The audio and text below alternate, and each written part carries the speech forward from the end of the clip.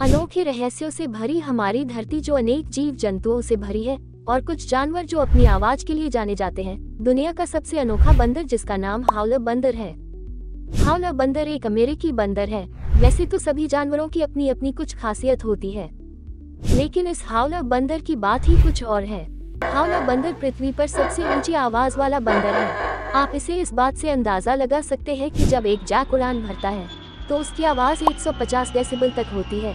और एक हावे बंदर की 140 मतलब अगर यह किसी इंसान के कान के पास चिल्ला दे तो उसके कान के पर्दे फट जाएँगे और हावे बंदर 15 से 20 साल तक जीवित रह सकते हैं तो कैसा लगा आपको ये जानकर कमेंट करके ज़रूर बताएँ।